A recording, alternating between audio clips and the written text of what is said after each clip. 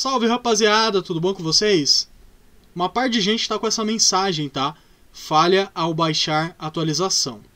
É, parece que para certificado da internet e um código, né?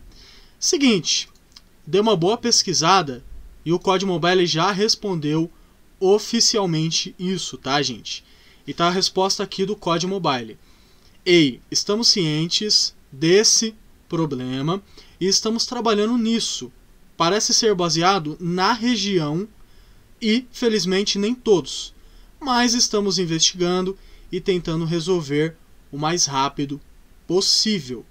Ou seja, galera, é a resposta do código oficial.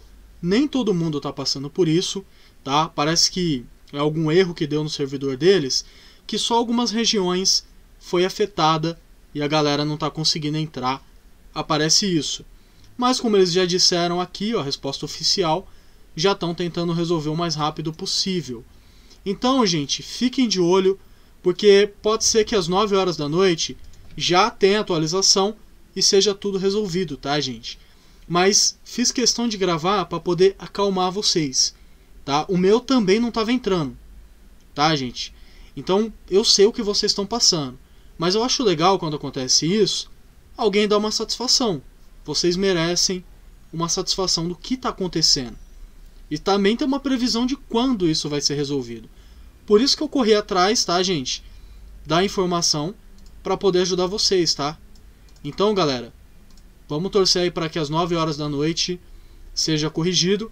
Mas como vocês viram, já foi uma resposta oficial, então eles estão tentando resolver mais rápido possível, tá? Então espero que vocês tenham curtido. Conta comigo, gente. Faço vídeo rápido para ninguém ficar perdendo tempo, tá? Último vídeo eu tinha feito que ninguém conseguia jogar.